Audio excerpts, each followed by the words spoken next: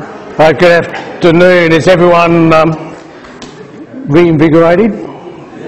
Excellent. Good to see. And um, I didn't see anyone out on the lawn practicing their rowing skills. I'm disappointed taking some of that. Although Anne did um, uh, recount to me very uh, early on um, about uh, um, a little uh, poem by Probably John those.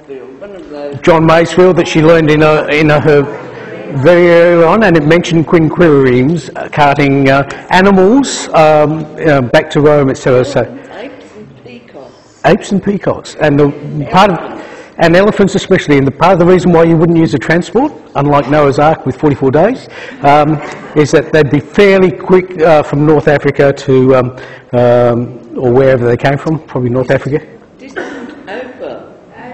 Okay, there we are. So, all right, I'm going. I'm going to look this up because I'm intrigued now.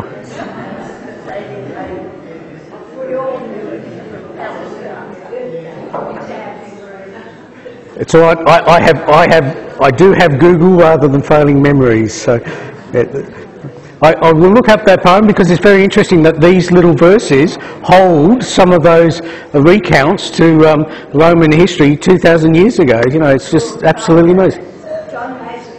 John John Masefield. I'll, I'm going to look this up because that's of interest. Um, I was asked a question about uh, ry- the rhythm of the uh, oars and things like that. Um, basically, it's a, a four four phase process. Um, about you know, obviously you've got to get the the oar into the water. You've got to pull against um, the water. Then you've got to take it out. Then you've got to recover, i.e., take it back to that first position, and then put it back. And it was a, a four-stage process. So uh, there were a number of those songs and mantras that uh, they used just to get into that uh, four.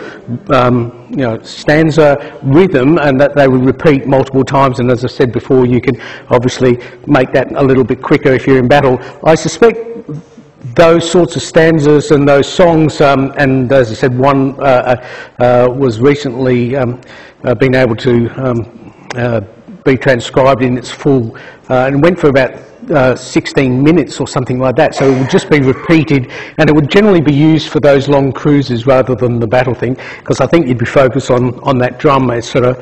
And training crews in those days were, you know, you'd obviously have experienced oarsmen, and they would probably be a little close to the centre, or perhaps even on the on the inboard oar, because they'd actually then control it, and then others followed. And I don't think it would take too long to train them, um, because you'd know very quickly when you were out of sync. But anyway, uh, I do actually remember in my early studies reading something about a rowing machine that they made, and the uh, Romans were wonderful engineers, so it wouldn't surprise me through ropes and pulleys and a bit of uh, wood technology that they'd set up the benches and uh, put the oars on, and you could just practice getting into that rhythm of it. And once you've got that established, your muscle memory and your time, and it wouldn't take you too long once you've been doing that, either on a lake or even uh, with the machine, you probably drill on a machine, then go onto a lake, and then go into sea, and then you go into battle, one would hope anyway. Uh, training programs were probably a little more driven by the enemy rather than uh, training uh, authorities. Anyway, we'll talk about uh, Roman naval ascendancy, um, uh, and I think it's driven by the three uh, naval battles of the First Punic War, which we'll, I'll now run through. Um, this is where my Latin may let me down. The Battle of Mylae, um, 260 B, uh, BCE, Battle of Cape of uh, Eknomus, and uh, the Battle of Aegates in 241. So they're the three battles that we're just going to cover. I'm just going to situate um, that for you, uh, give you a bit of background on it, cover the battles, mention about the, uh, um, the, the number of forces and a brief account of each, and, uh, uh, and then summarise the, uh, the end of each of the battles, and then do a, a bit of an aftermath or what happened uh, at the end, and then I'll be happy to take questions from you. Not complex ones. Um, sorry. If I don't know, I'll get back to you. Just leave me your email. That'll be fine. Okay, a bit of background to the Punic Wars. Um, 265 BCE, the first um, Punic War uh, against Carthage. Um, Carthage was the preeminent naval power of the region and had been uh, for some time. I'll show you a little map shortly and it'll just ju- sorry, jump into relief for you uh, as to why he, they were uh, a naval power and needed to be. Uh, Sicily at the time was part of the Carthaginian Empire um, and posed a direct threat to Rome, uh, predominantly because of the ports that were there. And as I mentioned to you before, ancient shipping is all about capturing ports within one's day's uh, sailing. If you can comfortably take your ship and row it to a port, and then you can uh, basically hop along the coast all around the Mediterranean or across seas, etc., and you're at fairly low risk uh, of getting uh, sunk, and you can your crews are well provisioned and rested, and you can do any necessary repairs. It was a, a normal pro, um, process, and of course that was later extended when uh, you know the, the sailing ships, um, the distances got further, and then the coal ships needed coal stations, and you'll see you know over history the, the ports. But in these days, it was one day's rowing because that was something that you could guarantee. Um, and Sicily posed a threat to, um, to Rome because of those ports being so close uh, to the Roman mainland. Uh, sources of grain were available from Sardinia and Sicily. And the Straits of Messina, which are not very far apart, um, separated Sicily uh, and the Roman mainland. And you'll see that in the map very shortly. Um, just a bit of background also. Um, this is open to a bit of conjecture. Um, in 260 BCE, a Carthaginian ship, a Quinquereme, was beached and captured uh, and was reportedly disassembled. The Romans, as you all know, were great engineers, great engineers. And they copied, and it is, in theory, it became the uh, template for Roman, uh, Roman warships. So this um, uh, this ship was basically taken apart. Each of the pits, the pieces were numbered, uh, build your ship by numbers, separated, duplicated, and they then were able to take, copy that piece of wood 10 times, and uh, like this, do that. Number one goes to number two, number three, 3A, 4B. You know, if you've built a model, you'll, you, you understand, and uh, even Lego will do it. And they, they made this, this template. And again, uh, were able to build ships uh, at a fairly rap rapid rate. And I looked up the, the, the time. Um, each ship took about 6,000 uh, man hours to build. 6,000 man hours. There's ways of shortcutting that, um, because of course if you've got 6,000 men, it's only, it doesn't take you too long to do it. And if you've got 200, it takes, you know, you just divide 200 into six. Uh, but of course, you can't build the top part until you've built the bottom part. So, you know, there are limitations. You'd have them all standing around, so it's a bit longer. But um, conceptually, of course, you're only limited to manpower, which the Romans were not that short of, a bit of technology, which the Romans were not short of, a bit of motivation and enthusiasm, which the Romans were not short of, and access to a range of skilled um, uh, shipwrights, which, uh, be, uh, with Italy being uh, uh, um, surrounded by sea and a number of allies like Greek and uh, city-states, etc., were able to support them, they were able to reach in and um, um, grab those shipwrights and, and, coordinate them as well. So we'll get a comment on that uh, later about how many ships they were able to build, reportedly in such a short time. Um, the, the, point I'd just like to make about the conjecture about the ship is obviously the Carthaginians had been sailing around the Mediterranean for quite some time, so the Romans wouldn't have just suddenly discovered the ship, they would have been aware of it, but trying to replicate one from visually looking at it, etc., the Carthaginians would have been fairly um, uh, you know, careful about not letting the Romans uh, know too much about how they were built, etc. And of course, um, uh, other nations would have built similar sized ships, but not because they were fairly expensive, uh, but were not as common around. So uh, the Romans were certainly aware of them, uh, but this ship falling into their lap would have just given them such an opportunity to just um, duplicate it. Um, so reportedly by um, uh, that they built 120 modern ships in 60 days. So that's 120 ships in 60 days. So just to, that's 105s, so things of this size, and 23, so the, you know, like the triremes, 20 of those three. So um, that's 120 ships, etc. But when you think about, you know, the capacity to do that in basically two months, you initially go, oh no, that's impossible.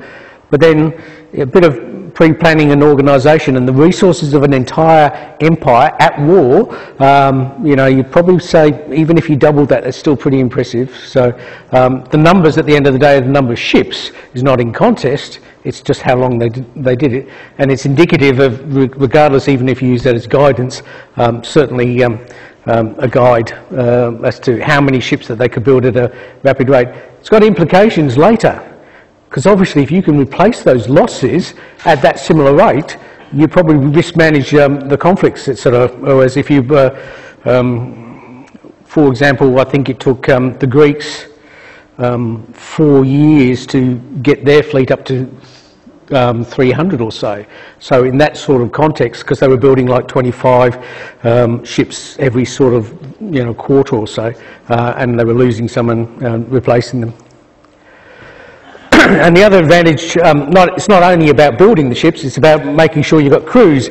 Um, and again, the empire is big enough that early on you can have uh, allied sailors and newly trained uh, Roman crews. You can certainly grab infantrymen and teach them, because infantrymen were not very clever, but we can lift heavy things. And certainly a four-section row stroke, even infantrymen can do quite easily. So getting trained, and they were all fit and uh, strong men.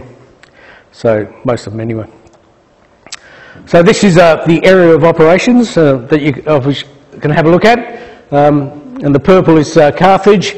You can see why they needed to be a, uh, a naval state. Uh, and we're obviously just looking at the west of the Mediterranean. There's some issues with the east of the Med, but uh, we'll leave that alone at the moment. And of course, Italy state there, and Syracuse is um, a separate um, city state. And we'll just look at that a bit closer. It all revolves around Sicily, and fundamentally, Sicily was the prize.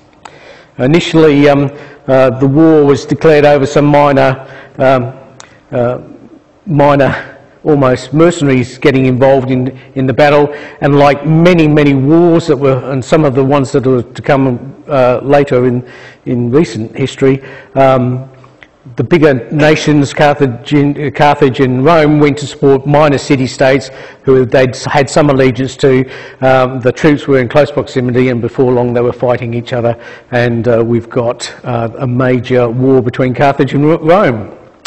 There was a number of sea treaties that had been signed, so Carthage had recognised the need for uh, Rome to be a maritime state uh, as well, um, but Carthage obviously wanted to uh, maintain supremacy um, and they just maintained a larger, much more effective navy.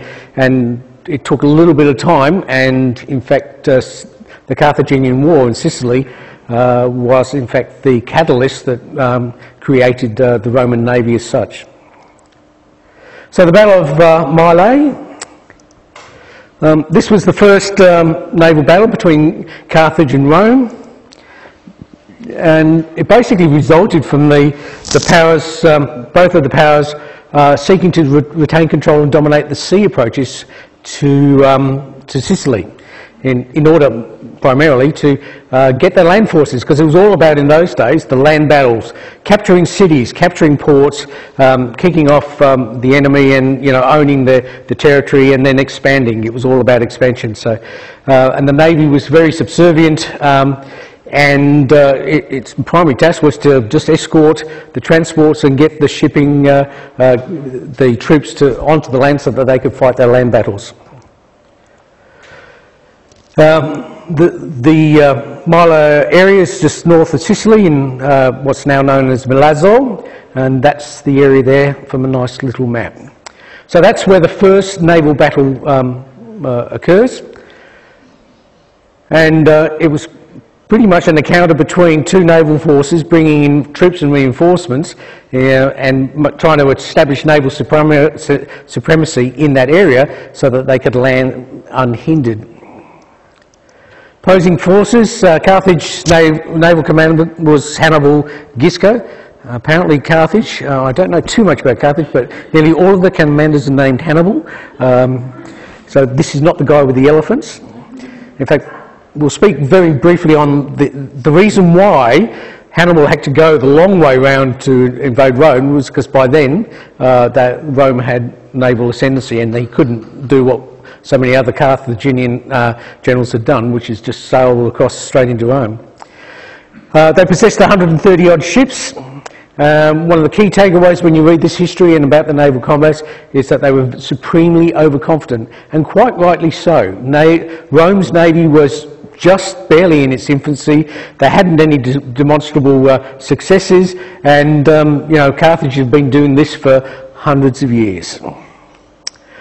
Rome, uh, the consuls uh, Gnaeus Cornelius Scipio and Gaius Duilius um, were in charge at the time, and uh, Scipio initially had control of the navy, um, but he went on an abortive little um, escapade to uh, um, try and uh, interdict some of the uh, Carthaginian ships, and his first encounter at the Lipari Islands.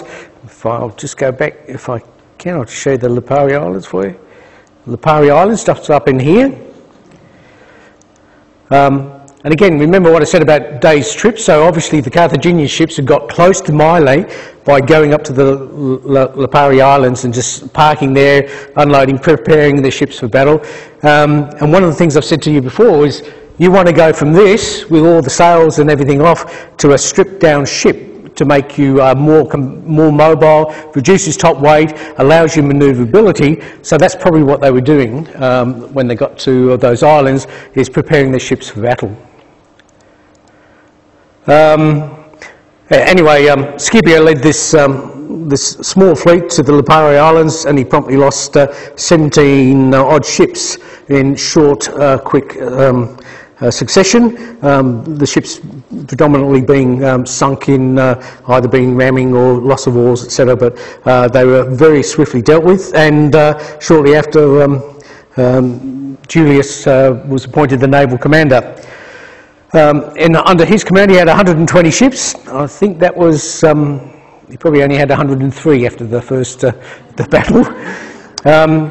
And uh, obviously, there was a bit of a discussion uh, about this first encounter with the uh, Carthaginian navy uh, because uh, uh, the, the, next battle we will see, um, the major battle, was in fact was where the Corvus, which is that big 11 metre, 4 metre wide plank with a great spike on, was fitted to the Roman ships. Um, how many? Um, doesn't quite say, um, but one suggestion would be uh, the majority of the ships would have had uh, the Corvus spike on them. The Corvus fitted anyway. Anyway, um, Duilius met Hannibal um, north of uh, Mylae, you know, pretty much open sea. And the Carthaginians um, expected victory. Um, they had the sea experience. And the previous uh, Lipari Island um, encounter, they were, would have been very confident. Um, so they, were, they, apparently were not in any battle formation uh, at all. So extended line, which is just, you know, groups of ships, probably from relatives and friends, just all moving through the sea area, um, coming to uh, encounter the, uh, the Romans. Uh, first engagement was a, pretty much a head-on clash, so one fleet versus the other. The Romans would have been in some form of battle formation. Uh, V's and L's were not uncommon uh, formation uh, ways, uh, mainly so that you could drive a wedge and split uh, ships formations and start to pick them off one at a time. Um, one of the mo- most common naval tactics was to have one ship attempt a, uh, a feigned attack against uh, one ship, and while they were trying to avoid that, the, other, the second ship would then come in. So they tried to operate in pairs. Um, but with the overconfidence that um, the Carthaginians had, uh, they just went straight for the Roman ships uh, en masse, and uh, you know, the whole point was to destroy, to firstly ram them, because that was the principal way of destroying uh, ships, destroying oars and things like that. So uh, they, they came in and got very, very close to the, uh, the Romans, because uh, you have to, to ram them. And um, the Romans, uh, through a bit of luck and a bit of seamanship, were able to engage using the Corvus and board uh, the lightly armed Carthaginian ships. As a consequence, the Romans had prepared for battle as well because they had a majority of Marines on their uh, on the ships. They were trained with the the corvus, and um, very swiftly uh, the Carthaginians found themselves that the first 30 odd ships had been captured. So the important thing is that they were captured. There's not so much about them being sunk. So capturing was clearly an indicator that this corvus and the Marines uh, was working very, very quickly because, uh, as I said, the small numbers of um, Carthaginian soldiers on board and certainly their crews would have been very quickly dealt with by armed legionaries in close combat, one of the specialties. Um, shortly after a, a, further 20 ships were taken, Hannibal decided there's something wrong with our ships today um, and apparently withdrew. Um, ironically, and much to um, Hannibal's chagrin and the glory of Rome, um, was that Hannibal's flagship would have been one of the biggest sixes, as in this size large, uh, had been captured, and he was seen um, escaping in, they say, a rowboat. It wouldn't have been, it would have been one of the Liburna type equivalent fast ships, but um, the mere fact that he had to vacate his now in Roman hands uh, flagship uh, would have been extremely hard uh, to deal with.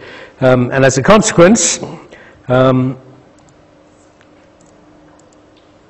Uh, it resulted in the first substantial naval Roman battle, uh, the first substantial naval victory in this um, first major encounter between the Carthaginians um, and the Romans. So I expect lots of red wine, not necessarily diluted with water, was celebrated in the, the Roman um, uh, halls that night, and not much in those Lipari Islands. I think they would have been uh, licking their wounds thinking, oh, we, you know, there would have been a bit of shell shock there, I think. Um, Duilius returned to Sicily and lifted the Carthaginian siege, siege of Segesta, so which is what his primary role was to do. And he received first Rome's first naval triumph and a victory column uh, raised in the Forum. He had captured 31 ships and sunk 13. What happened to those 31 ships? Suddenly become Roman. Quick paint job, new flag, thank you very much. Um, some of the crew may have uh, decided to join them, uh, um, join the Romans, because they don't care as long as they're getting paid. But obviously, if they were true Carthaginians, uh, that would be probably be uh, put to the sword or sold as slaves um, off the off but so now the Romans said now uh, the Romans lost, I think, about 20 odd ships, so they would have certainly replaced their 31 um, well, certainly replaced, um, you know, uh, their lost ships and increased their fleet uh, by 31. Um, the unlucky Hannibal uh, lost some more ships in Sardinia, obviously a few other small naval campaigns, and probably a bit of bad weather, but you know, the, the Carthaginians were good seamen, so they were able to deal uh, with that. And unfortunately, he was crucified for his incompetence. I, you know, I, I know it's tough. Well, we just give you the gold card now and say that we'll fly you back and forwards and do the. Um, I think our politics, sorry, I better not care. Um, General's performance was measured uh, and they were amply rewarded for success, but obviously dealt with, um, with, with uh, certainly the Carthaginians' expense. So I think failure is, um, he probably should have gone down with his flagship, I would have thought. Um, so I just simply say that the Roman Navy had arrived, uh, and I think it was there to stay. So um, the aftermath of, of, all of that was certainly the morale of the Roman navy at that time would have just gone through the roof. They had come up and encountered the preeminent naval uh, um, uh, Carthaginian navy, encountered them in a first massive battle, which visually, when you look at it, you know, 120 ships on a horizon in, in that series, the chaos of that first battle, success after success after success, and the enemy admiral sailing off in a uh, Liburna boat off, uh, off into the distance, and, um, you know, uh, the Romans coming back with, I nearly said us, uh, oh, that's the advantage. Victor, victory, um, you know, gains lots of people. Um, so, yeah, they'd have certainly gone back, been victorious, morale would have been improved, and they would have validated their battle tactics, and uh, certainly the outcome of that would have been uh, an improved state in the Navy. Uh, and conversely, the um, uh, Carthaginians um, would have been probably a bit, um, as I said, shell shocked about that. Battle of Cape um, Eknomus in 256, so not too long after. Uh, this is the second naval uh, battle. Um, when I say major battle, uh, you must remember there'd be lots of these little encounters with Liburners and small squadrons that are vying for, um, you know, possession. They'd be doing patrolling and guarding, and there'd, there'd be these constant little clashes where individual ships would would lose and not. And because the speed difference was not significant, if you came across an overwhelming force or were surprised by an overwhelming force, you'd just sail away. And so, you know, unless there was purpose and a reason for the clash to occur, in a lot of cases, the minor skirmishes would have resulted in very little damage to many of the ships. But the presence would have been there. And as I said before, the Liburners and some of the lighter triremes were there for patrolling and escort, but also reconnaissance and scouting. So that would provide information back. But again, you know there's an enemy fleet there, and you are, you know, a trireme, eight or nine knots. You've got to get back. You know, you don't have a carrier pigeon or, a, you know, or um, uh, telegraph or radio or anything. So you've actually got to get back, report it. So the timeliness of some of that intelligence is probably uh, somewhat limited. The Battle of Cape Eknomus probably has the um, um, position of being probably the largest naval battle in history. It's 700 odd ships. There were not too many other naval battles that involved 700 odd ships, even in modernity. It's just um, unheard of. So um, this was the biggest clash. I suspect Carthaginian wanted to, Carth- uh, Carthage wanted to stamp their um, authority on this and make up for the previous uh, um, defeat and um, ensure that they crush Rome's naval uh, naval's uh, ambitions in one uh, one battle. Um, the background behind this was after the first um, invasion of Sicily, and because uh, there was a bit of a standstill, uh, a standoff, I should say. Uh, Rome had decided that they had the capacity, and quite rightly so, to invade North Africa, which was a major, uh, North Af- uh, major client state to uh, Carthage. So they decided to mount the major expedition to invade North Africa. So that involved numerous transports, the majority of their navy, and it was simply going to sail from uh, Rome, Sicily, through the Sicilian Straits into North Africa, land and dis, um, dis, disgorge all of these. Uh,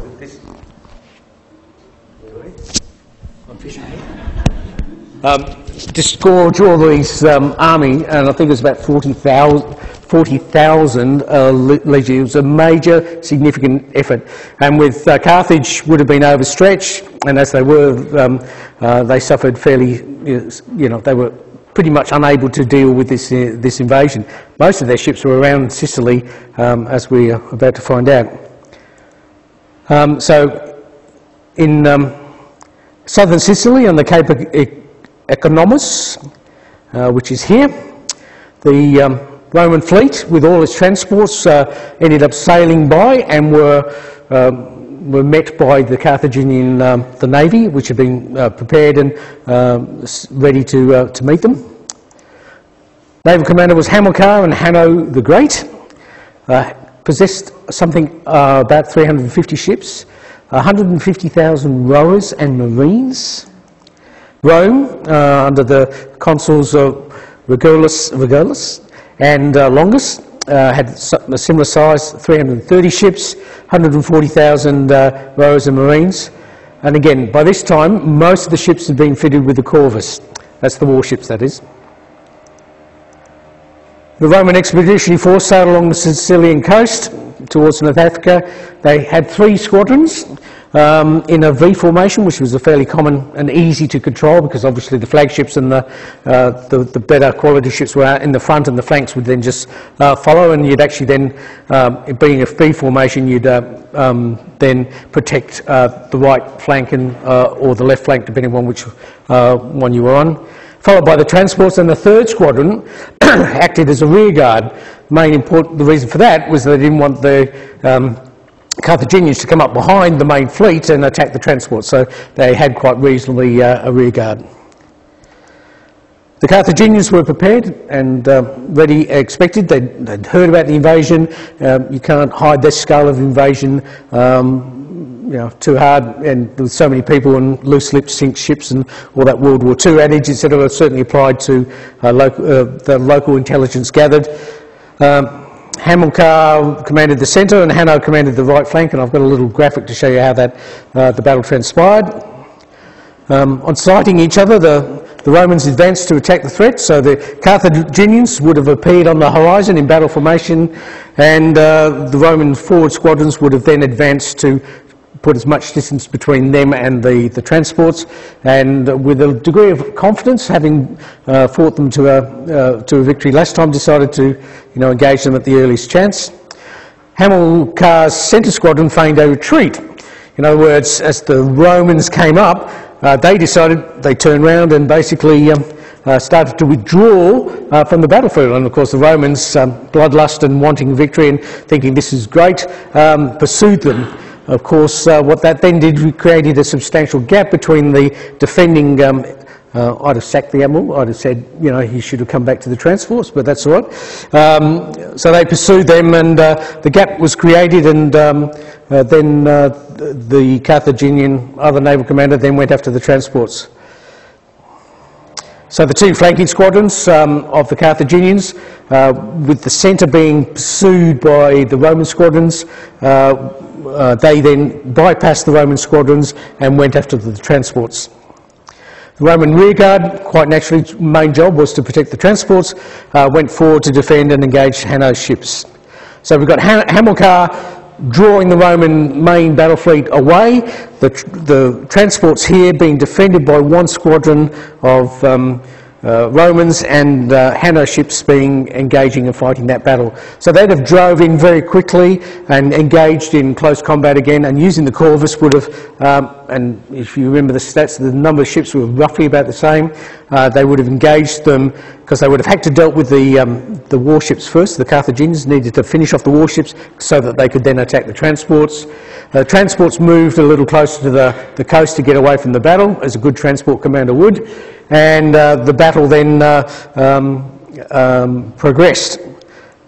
The um, Hamilcar's um, centre squadron uh, then turned round and engaged uh, the oncoming Romans um, because obviously that was part of their battle plan and it worked quite well, a fairly common thing. And the Roman ships in heavy close quarter fighting. But they failed to win that battle.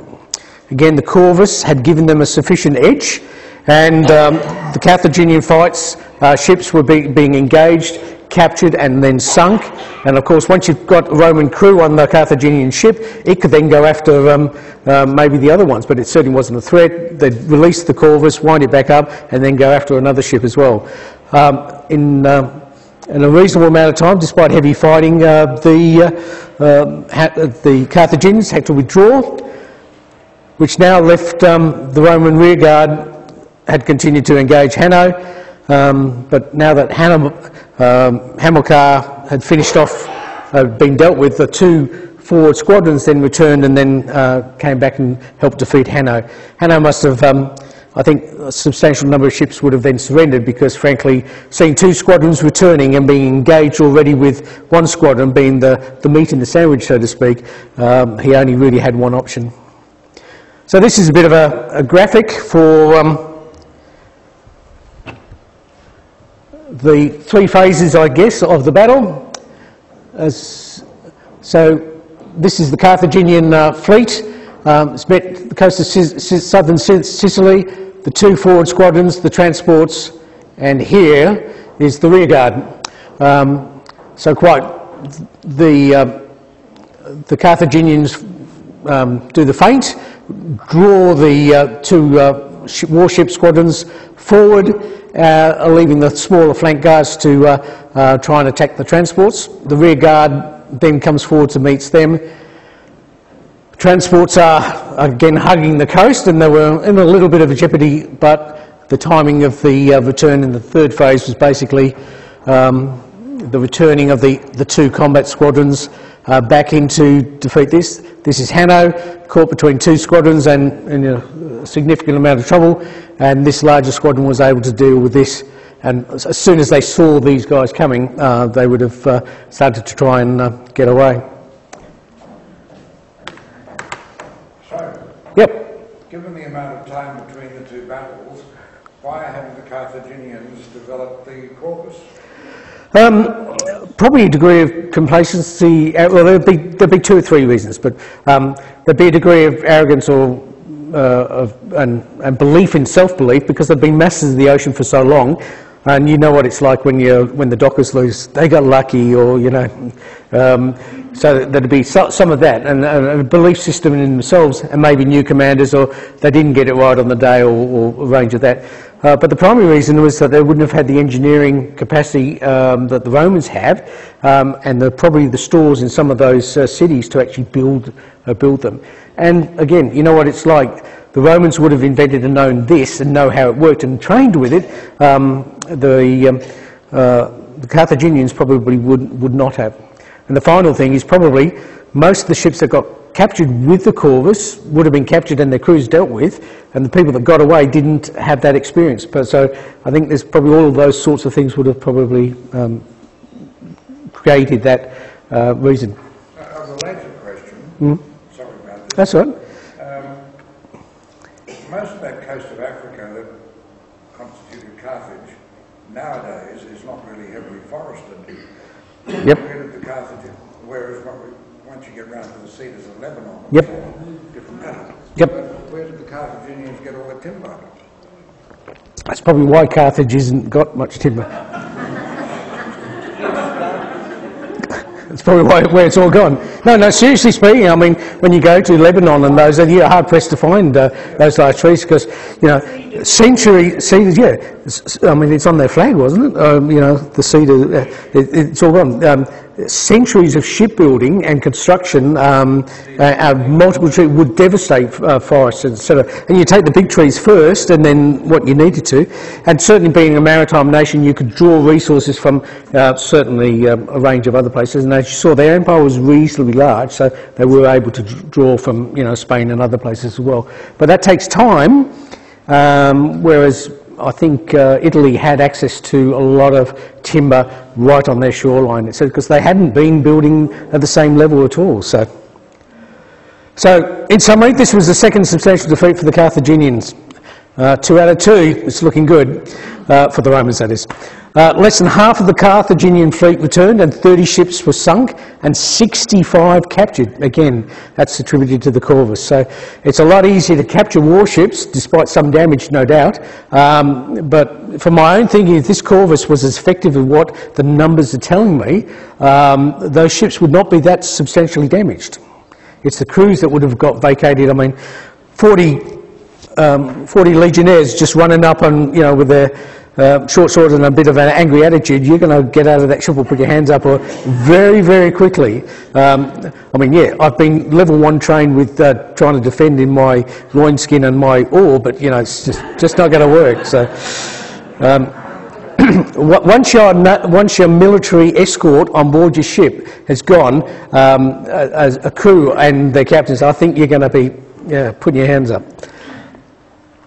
Um, the Romans landed in Sicily uh, for repairs because remember that they were going to North Africa. So they did suffer some damage in the ships because the Carthaginians would have been doing ramming and destroying oars and doing that naval combat s- stuff. Um, and then uncontested landed its army in, in North Africa.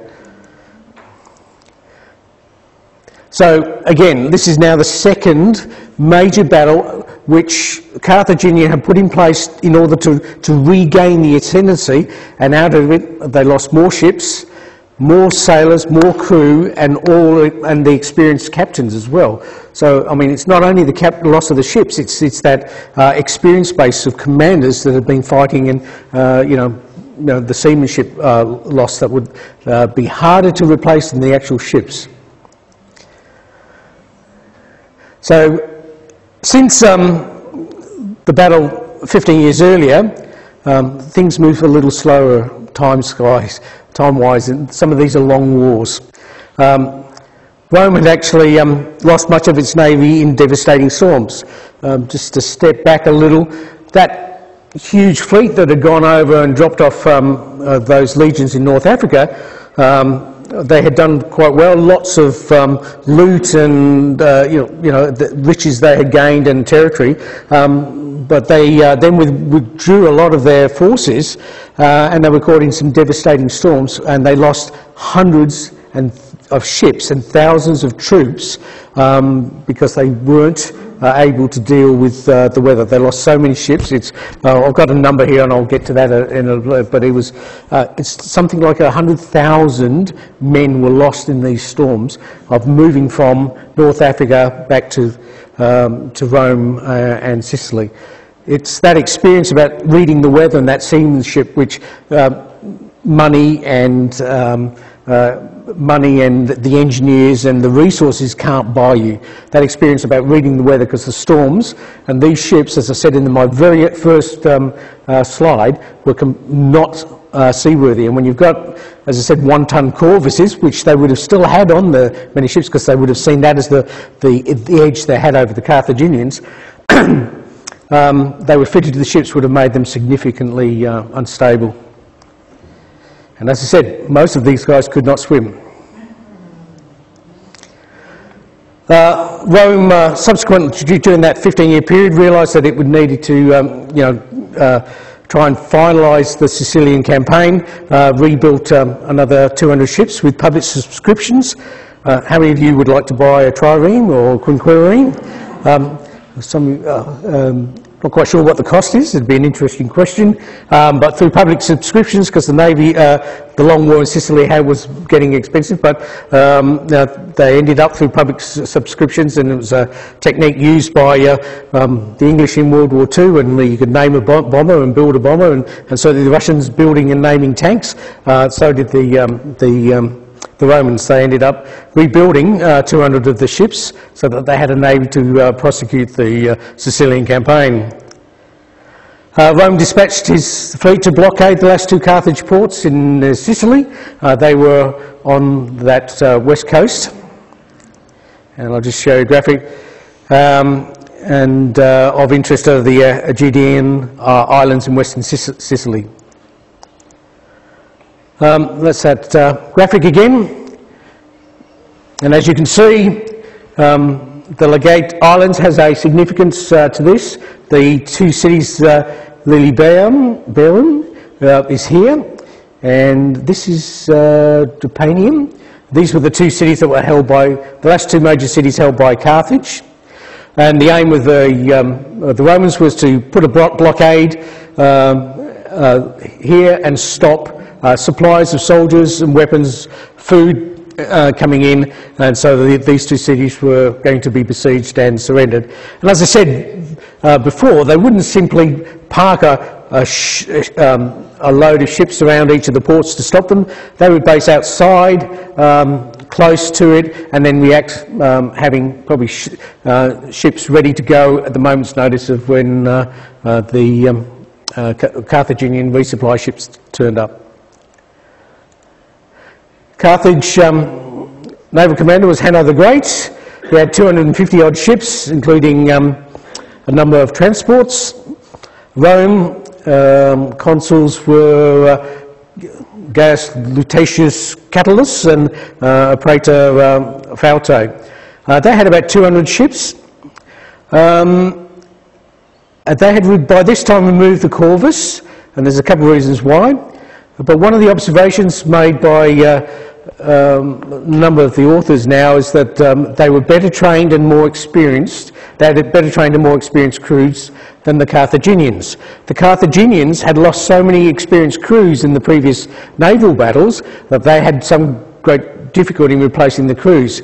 And at some difficulty, they replaced the ships. So it was a bit of a mixed bag. So despite them being outnumbered this time, almost directly proportional uh, uh, to the previous battles where um, the Carthaginians were the experienced um, uh, naval commanders and less ships, and the Romans were, you know, had more ships but less experience. Um, now we find those roles transposed, and the Romans had the ascendancy in seamanship and skills, and uh, the Carthaginians had poorly trained, incomplete crews. And one of, apparently, uh, one of the narratives suggests that they didn't have too many Marines or deck soldiers because most of them were in some of these cities and defending North Africa and Carthage because they had expected uh, attacks. So the theory had been that the supply ships and some of the, the warships would have gone into those two cities. dropped off supplies and re- some reinforcements, and then picked up their deck soldiers to fight uh, the battle. You can see what's coming up, can't you? Um, so the Romans had removed the Corvus, and the other thing, those, west, uh, those western seas were more exposed. They were rougher and more difficult. They were exposed to the weather. The sea states were more uh, difficult rather than between Rome and Sicily, where the seas tend to be a lot calmer. So the Roman navy arrives and blockades the ports of Lilybaeum and Marsala now and Drepana, and Hanno shortly arrives to break the blockade and, and pauses at those uh, gate islands to wait for favourable winds. So there's an indicator here that he's got his sails up because if you've got favourable winds, you don't need you don't you know don't need your oars. So he's got his um, his sails up, which is making his ships less manoeuvrable. They're faster with a favourable wind, but they're less manoeuvrable and they're heavier, so they're slower to react. Uh, the Carthaginians were found um, by scouts, so the Roman navy were warned that these guys had arrived at the, um, the islands, at the Aegates Islands. Um, so the Roman um, fleet was stripped uh, for battle and prepared to attack Hanno. So they ended up being like this, stripped, decks cleared, all the ancillary stuff removed, and uh, their soldiers put on, on board ready to, uh, to fight them. The Carthaginian fleet was heavy. It had been loaded with supplies and equipment because that was their role to get supplies um, uh, back into these cities. Um, but they had few troops, as I'd already mentioned, and their troops and their crews were inexperienced. Falto, Catulus had actually been now had been injured in a previous engagement, uh, led the attack, and in short order, uh, the Roman squadrons decimated the Carthaginian fleet in the naval tradition, not with the corvus, but by manoeuvring, ramming, destroying oars, and boarding um, the Carthaginians. this it was a decisive naval battle, with over half of the fleet was lost, with 50 ships sunk and 70 captured. So those figures indicate to me, again, it's that naval tradition rather than the Corvus, where the ships were actually sunk, 50 of them or so, um, by ramming, destruction of oars, and um, that sort of thing. 70 captured belies the fact that out of that 350 um, ships, some of them transports and some of them the warships, um, 70 captured would indicate that they probably saw the writing on the wall and trapped by numerous things would have surrendered um, their, uh, their ships to the Romans. So very significant, over 120 ships um, of that Carthaginian fleet uh, were dealt with. This was the third, and substantial, third substantial defeat of the Carthaginian navy by Rome.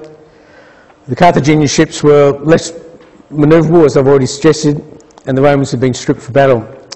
So with less than half the Carthaginian fleet returning, thanks only to favourable winds, which is again apparently uh, the winds had changed direction and were able to assist. And basically, the uh, the um, Carthaginian fleet hoisted their sails, picked up the wind, and uh, got out of there very quickly.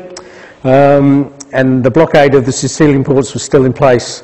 Um, so the Carthaginian uh, Senate had no option but lost the fleet, the blockade in place, not uh, ha- not having been resupplied, uh, sought a peace. So, in summary, the aftermath, unable to replace its naval losses, Carthage, Carthage settled with uh, um, Rome the First Punic War, significantly to Rome's advantage. Uh, Carthage had to vacate Sicily and Sardinia, um, and they had to pay a substantial amount of money, and a debt continued. The Carthage, Carthage navy was reduced to a mere 50 ships, merely enough to deal with pirates, basically. Uh, and Rome's fleet continued to increase despite its major losses at sea, as I said, mainly due to storms. They still had some lessons to learn. Um, the Roman Navy, the Punic Wars and conquest of the Mediterranean reached a level and fleet size that would not be matched until the 19th century. So the number of ships, that's the 19th century. The number of ships, the organisation, the, the area of operations, uh, and if you just extend your minds a little thinking about Caesar, how did Caesar invade Britain? The Roman navy was there. You know, um, Gaul, the rivers in France, and all of those, uh, you know, the transition of warships uh, like the Vikings were to do um, hundreds of years later, you know, the, the entry and the use of the navy in uh, the riverina and the river uh, m- made the job of the army so much better, easier. It set the preconditions for, um, for the Second Punic War, and Rome's navy ruled the seas for the next six centuries. Um, pretty impressive when you read that history. Brings a tear to my eyes, an infantryman, I've got to say. Um, naval technology went through a transformation during, during the Punic Wars. Um, obviously, not only the Cor- Corvus, but uh, the Harpax, a development in uh, tactics, um, but more importantly, the development of shipbuilding and training crews to man them. If you had that capacity to build quickly and maintain true troops to a threat, you didn't have to maintain such a big standing navy because you know, you, given a three-month lead time, that you could get that to that state. So that was very cost-effective. Um, Rome was also about spending money, but it was also about saving money as well. Um, naval operations were now essential to and integrated into the campaign planning of Rome. Um, they saw the utility and the advantages, and you'll find that most major campaigns of Rome now incorporated uh, the navy in a support and security role. Issue of pirates still remained an issue. Issue of pirates, um, pirates still remained an issue with um, uh, uh, the Mediterranean for a long time. There were lots of uh, minor states and villages and cities, etc., that um, you know uh, supported pirates mainly because they paid them, got income and uh, uh housemen, and that was that was to be settled by uh, Pompey um, in 67 BCE. Um, oh, just go back. Sorry.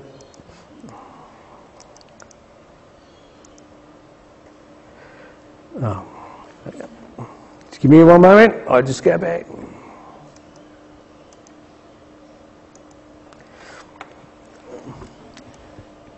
Do it this way. So um, the pirates um, was still an issue until Pompey dealt with them. Um, Pompey um, in 66 BC, um, he was given 20 legions. So this is how big the pirate problem was. He was given 20 legions, that's 120,000 men, 270 ships, um, 270 ships. Pompey. Oh, Pompey, sorry. Pompey, thank you, my mistake. Was killed in Yes, later. Ski for the, it got on the wrong side again. Well, anyway, it happens. Um, so Pompey um, uh, was given a task to clear the pirates, and he ended up doing so. And the last major Roman sea battle, there were other Roman battles uh, in between uh, as they continued to expand and become, uh, um, you know, the um, the sea power that they were to be, um, was the Battle of Actium in 31 BC. Um, so the tactical summary, initially Carthage commanders had dismissed Rome's uh, naval competency and tenacity and failed to respect their adversity, adversary. Um, Rome was able to use surprise effectively on two of the battles uh, using the Corvix, Corvus and gain tactical ascendancy uh, and reduce what Carthage had, which was um, its um, seamanship and its ability to, uh, um, you know, win the naval battles. And more importantly, Carthage had a few reserves. Rome, in contrast, could um, replace ships, replace crews um, relatively easily, uh, whereas Carthage was struggling financially and resource to be able to do so. It was an attritional war. Uh, Carthage could not lose 200 ships. Rome could and did and replaced them with another 200 ships. Um, so they were able to win that war. Uh, and frankly, uh, Rome possessed a single aim, um, the destruction of Carthage, and there's been a number of books that have been written on that. Um, just a couple of acknowledgements on some books and stuff. The music was um, by Invincible. Um, a couple of books here by Osprey, if you're familiar with those titles, they do a lot of uh, military things. They're very good, light read in an afternoon over a beer, red wine, or a cup of tea. Um, so I would commend them for um, those. So the Osprey range, um, I sell in my shop, by the way. Um, blatant uh, selling, but you can get them anywhere. An extremely good resource uh, for level one reading and, and quite and you know quite scholarly supported. So very very good. Um, my favourite book on the Roman Army, uh, Roman Navy, sorry, is Roman Warships by uh, Michael Pitassi. Great read, and it goes into a, a, a so much detail. Um, probably too much sometimes, but um, it's, um, uh, it's, it's, well worth um, getting out of the library or buying if you're interested in that sort of stuff. There's those two books, and I'll leave you with that. Any final questions? Yes. When you say strict for war, I would have thought they were fairly sparse anyway. What, what does that involve? Okay, to go from stripping, uh, this is part of the reason why I bought these two had these two ships. This has got sails on and war towers and things like that. Um, whereas this one has been stripped of the main mass, which is normally uh, that's stripped um, basically, and anything uh, that they don't need, they just take off to reduce weight, increase uh, mobility, uh, and I suggest they probably put an extra barrel to of, rum, uh, of wine um, in the decks, etc. Yes. Sorry. Uh, well, they do also they they would put the soldiers on as well, but yeah. The whole, the whole war was caused because Rome wanted to expand because they'd just lost Egypt to the Ptolemies. Yep. And they want they were having trouble getting anywhere in Spain and Sicily because the Greek settlers had gone there to avoid the Persians 150 years before. I suspect that's the case and for every single war. didn't want a war. The Romans wanted to get rid of Carthaginian influence so they could Correct, yes, absolutely. That, um, yeah, uh, tell me which wars have um, um, not been done from uh, the expansion, etc. And certainly, um, is Rome a bully? Absolutely, but he had a big stick and um, the opportunity in Carthaginian was the... settled down. Yes, yes. Caesar had trouble with Greek settlers in Marseille. I suspect that's probably true. Mm. He had to write home and. Yes. Um, uh, one of the Carthaginian, Carthaginian naval commanders was, was called Hanno the Great. Why was he called the Great? Uh, probably because he was either a very robust gentleman or um, he had naval successes and was uh, well, well renowned as well. Um, and oh, by the way, the guy that did uh, lead that battle, when he got back, he was crucified as well. So, so it seems to be a common theme. Yes? you said that the ships, Roman ships were put into port, taken out so that they wouldn't get caught along. What about the crew? Were they the same crew the next day? Um, I would suggest that the next day, pretty much, except those that were drunk and didn't turn up, uh, those that were sick, and you'd have, a, you know, those administration people would make sure there was a full crew. You'd have a, a number of people that would be available as crew. Uh, contact between ships, how was it done? Flags, or did they yell at one another? Uh, no flags, yell, um, wave, made directions, sway, ooh, ah, you know. Um, they certainly had um, trumpets and those sorts of things, uh, so they would have had drills, and, and certainly um, um I, I, would suspect they would have trained in each of the squadrons, cause, so that they would, you know, 10-man squadrons, they would have had a leader within, a naval commander within that group, and they would have practiced basic drills, uh, how to attack and defend and those sorts of things, etc. And for operations, uh, like a major operations, where they were positioned, uh, they would have conferences beforehand, like most military commanders, etc. So, yeah.